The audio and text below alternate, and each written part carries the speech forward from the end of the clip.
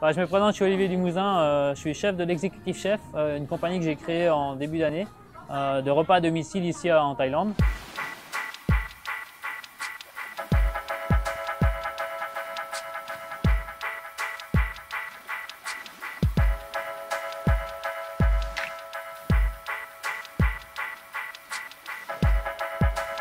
Suis arrivé ici euh, un peu par hasard entre guillemets. Euh, à l'époque, je travaillais pour Monsieur Robuchon à Londres. Et Monsieur Robuchon un jour me dit "Écoute Olivier, euh, est-ce que tu as envie de changer, de voir ailleurs J'ai une proposition pour toi pour venir ouvrir l'atelier de Joël Robuchon à Bangkok." Je me suis dit "Allez, pourquoi pas." J'étais déjà venu une fois en Thaïlande avant faire un, repas de charité et j'avais adoré ce pays, cette culture si particulière. Alors d'aujourd'hui, j'ai créé ma compagnie qui s'appelle l'Executive Chef. Euh, c'est une compagnie euh, qui propose euh, des services de repas à domicile. C'est vrai qu'ici en Thaïlande, les gens apprécient de faire des, dîners ou des repas à la maison.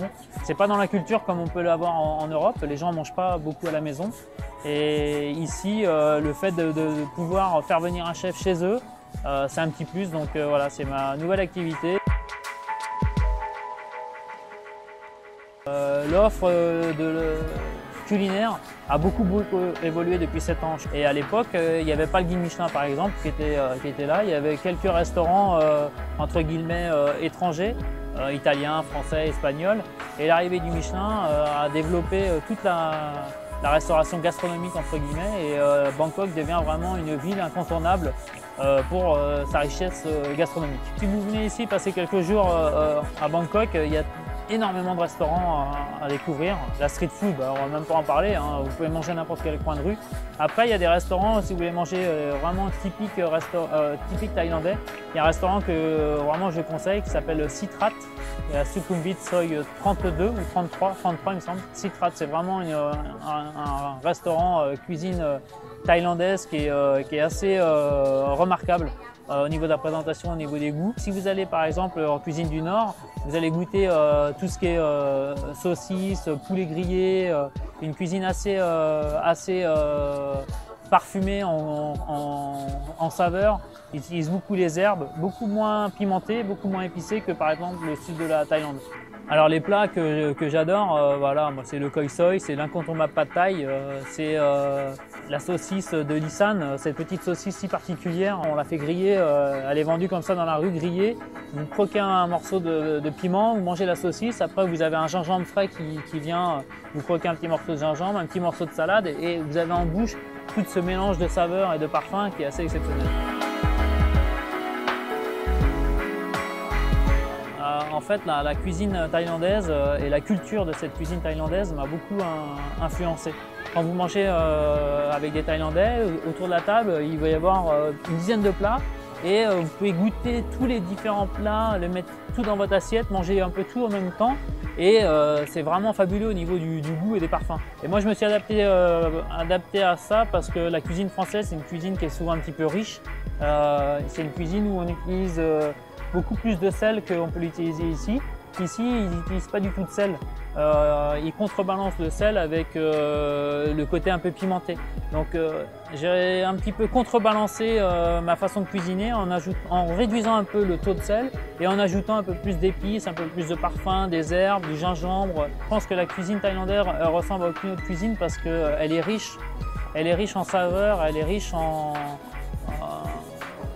en parfum, euh, tout simplement. Et ils utilisent euh, différentes techniques de cuisson, de taillage. Ils, font du cru avec du, chaud, du cru. Ils utilisent beaucoup de bouillon, beaucoup de soupe, euh, beaucoup de grillades.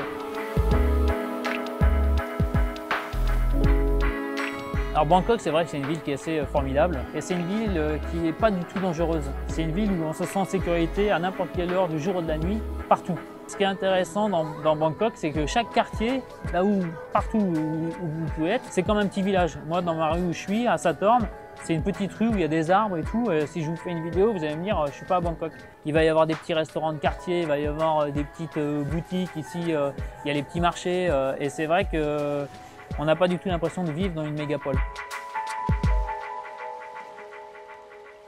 Alors moi mes petits coups de cœur, euh, si vous voulez manger euh, thaïlandais, bah voilà, c'est euh, Sritra Sukhumvit Soi 33, c'est vraiment le dépaysement total. Vous allez manger une cuisine du nord de la Thaïlande qui est fabuleuse, qui est extraordinaire. Si vous allez sur, sur Saturn, il y a un endroit qui est très sympa qui s'appelle Charm. c'est un restaurant, enfin un restaurant, thaïlandais avec un, un, groupe de live musique.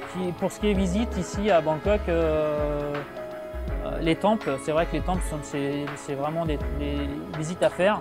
Euh, bien sûr, on peut parler du Grand Palais ou, euh, euh, de, temples assez connus, mais il y a plein de petits temples. Dans chaque, quartier, en fait, il y a un temple où vous pouvez rentrer. Il faut être très respectueux, bien sûr, des règles d'hygiène, entre guillemets, se couvrir les épaules, pas arriver en short et, et respecter un petit peu la spiritualité du lieu. Mais c'est vrai que chaque petit temple de, Bangkok est, est un havre de paix où les Thaïlandais viennent se recueillir, viennent faire des offrandes, viennent faire des dons. Euh, et c'est vrai que moi j'aime bien de temps en temps me ressourcer, euh, aller dans les temples. Et j'adore aussi le Chao Phraya. Voilà. Partir à Chao Phraya, vous prenez un long tail, euh, sans destination, et vous allez vous balader dans les Klong, voir un petit peu le, ce qui est l'autre facette de Bangkok. Alors, euh, mes petits coins de paradis, euh, le premier coup de cœur, euh, c'est voilà, les îles. Hein. vous prenez, vous faites 45 minutes d'avion, vous allez sur Phuket, Krabi. c'est des lieux qui sont assez magiques. Et là, vous prenez, vous louez une mobilette et puis vous partez dans la nature et vous allez adorer les îles, les plages, l'accueil du sud de la Thaïlande. C'est vraiment extraordinaire. Et d'un autre côté, j'adore l'Isan. L'Isan, c'est le nord de la Thaïlande.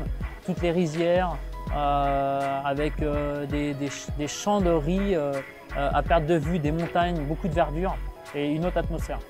Alors Lisan, bah, moi ce que, je conseille c'est d'atterrir à Konken. Konken, vous atterrissez, vous louez une voiture et là vous allez jusqu'à Loi, L-O-E-I. Et là vous montez, c'est à peu près pour deux heures de route en voiture, c'est très très agréable. Euh, vous traversez les rizières et vous allez jusque vous arrivez au Mekong. Et là c'est voilà dans un autre monde. Euh, c'est la lumière euh, du jour. Le ciel est vraiment fabuleux et vous allez avoir cette, atmosphère si particulière. Et encore une fois les temples. Si vous arrivez dans, la région de Nissan je vous conseille vivement Chongqing. C'est vraiment une voilà, une ville vraiment typique, pittoresque. Il n'y a pas beaucoup, beaucoup de touristes. Il y a vraiment, les Thaïlandais adorent aller là-bas pour se ressourcer, pour voir un peu, être au bord du, du Mekong. Il y a vraiment toute cette tradition les vieilles maisons en, thaïlandaise, en bois et tout, c'est euh, voilà, à faire. Si vous avez l'occasion de passer quelques jours dans un temple, ne serait-ce que deux ou trois jours, vivre en, autarcie euh, et en communion avec euh, les monks. Et si vous avez l'occasion de faire voilà, des œuvres caritatives, donner de votre temps, ils n'ont pas spécialement besoin d'argent, mais juste de donner de leur temps, cuisiner. Moi, je, voilà, je suis cuisinier. Il m'arrive parfois de, cuisiner et de partir euh, donner, euh, faire à manger dans les hôpitaux pour des enfants handicapés ou pour les personnes qui sont vraiment démunies. Ah, je pense qu'il faut venir au moins une fois visiter la Thaïlande parce que euh, voilà, vous allez adorer la culture thaïlandaise, vous allez adorer les gens. C'est un peuple qui est vraiment très pacifique, très souriant, très agréable le service et voilà, les gens sont, ils vont tout faire pour vous aider. Vous allez adorer la cuisine, vous allez adorer le nord de la Thaïlande avec euh, euh, tout, le côté un petit peu culturel, euh, les rizières, le côté un peu très de paix, d'apaisement, de, sérénité. Et si vous allez dans le sud de la Thaïlande, vous allez avoir les plages, les îles, la clarté de l'eau, les couchers de soleil, c'est vraiment magnifique.